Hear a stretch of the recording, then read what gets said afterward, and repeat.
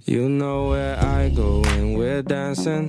Handshakes in the Hamptons and getting drunk in the mansions with you. And you look so classy.